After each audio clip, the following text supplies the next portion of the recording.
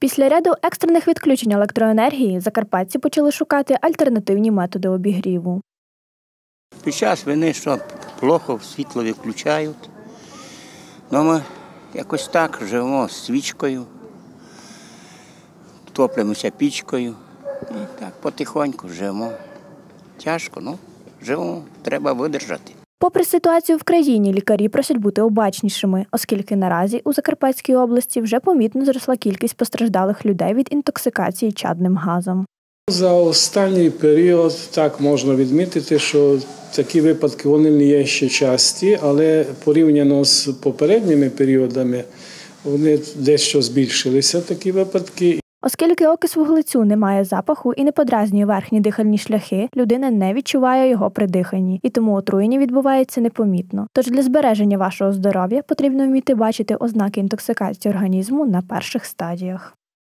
У нас в загальному є певні клінічні ознаки, які виникають е, внаслідок отруєння чадним газом, і вони різняться між собою в залежності від складності отруєння. Тобто при легкому ступені ми можемо відмічати такі е, симптоми, як головний біль, частіше в скроневих ділянках. Е, Далі можемо відмічати шум в вухах, задишку, підвищене серцебиття.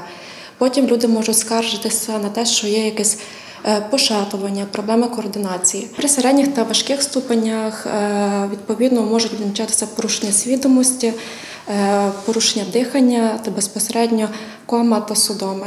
Найчастіше загроза отруєння окисом вуглецю виникає при неправильному користуванні та використанні несправних газових чи пічних приладів та порушеній роботі димоходів чи вентиляційних систем. Тому, щоб уникнути небезпеки, потрібно бути обачними та слідкувати за справністю всіх вище перерахованих пристроїв. Але у випадку, якщо інтоксикація все-таки трапилась, потрібно дотримуватись рекомендацій лікаря.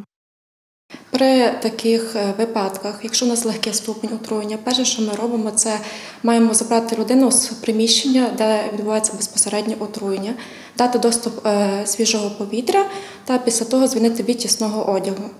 Після ми викликаємо швидку медичну допомогу та транспортуємо до медичного закладу. У цей нелегкий для всіх період бережіть себе та дотримуйтесь рекомендацій лікарів, щоб подібних випадків не повторювалося.